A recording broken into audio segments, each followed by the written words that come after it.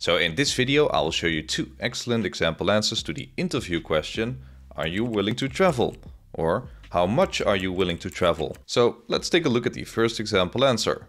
I'm definitely willing to travel. I read the vacancy description and know that regular business travels are part of the job. In fact, it's one of the reasons why this position appealed to me in the first place. So previously, I spent roughly 50% of my time outside the office. I've learned a lot from direct collaboration and communication with clients in the industry. These experiences also allowed me to grow my professional network, which is very important to me. So that's a clear yes to the interview question, are you willing to travel? But what if you are unsure or still in doubt? Then you can formulate your answer like this.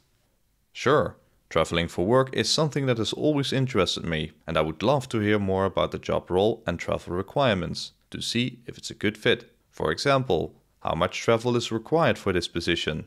And what about travel requirements to different client and work locations? Is the 50% travel time listed in the job description a fixed number? Or can it be compensated with working remotely from time to time?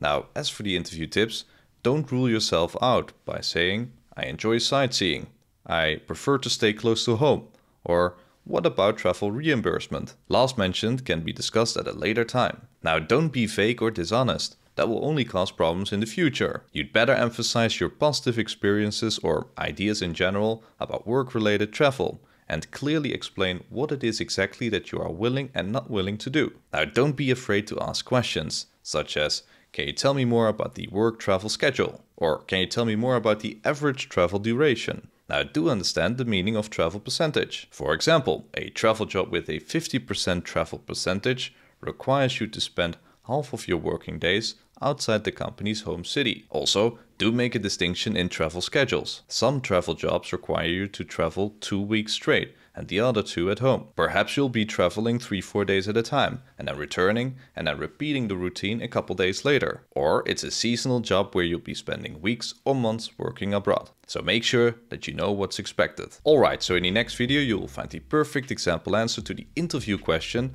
Are you willing to work overtime? Now, if you'd rather have the complete overview with the top 100 interview questions and answers, then you can find the link in the description down below. Now, I hope this video was helpful, and if so, don't forget to hit the like button. Thanks for watching and see you in my next video. Bye!